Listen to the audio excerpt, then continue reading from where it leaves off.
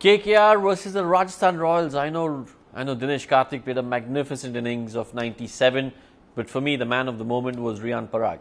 The youngster showed uh, uh, his skill set, showed his temperament, showed his talent with the bat, showed that he's calm under pressure, and he's definitely one to keep an eye out for in the future. I'd seen him play the under 19 challengers uh, a couple of years ago, and at that point, I remember chatting with Amol Muzumdar, and we both felt that he is someone who could go a really, really long way uh, in this game.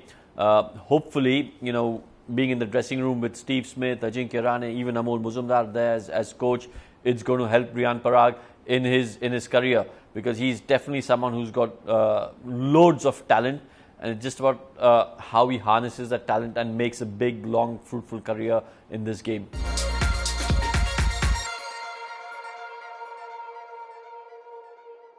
Well, Jaydev Unadkat went for 50 in his four overs. Uh, he's clearly not having a good IPL. He didn't have a good IPL last year as well. I think his confidence is short.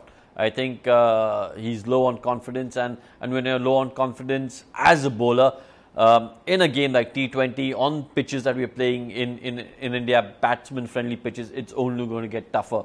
Um, he's one of those bowlers I feel who's done really well in the domestic circuit.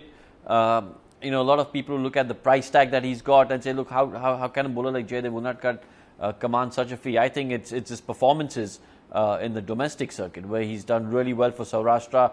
Um, I think he's a talent.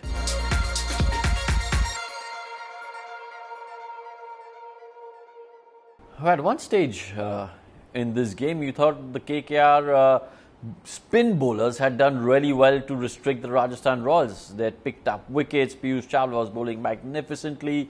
Sunil Narine picked up uh, picked up a few crucial wickets. So look, it seemed it just seemed like KKR were in complete control of the game. Uh, unfortunately for them, uh, the medium pacers uh, didn't really back up the good work that the spinners did, and that cost them in the back end. But uh, going forward into the tournament, KKR will be happy with the fact that the spinners are bowling well and seem to be in good form.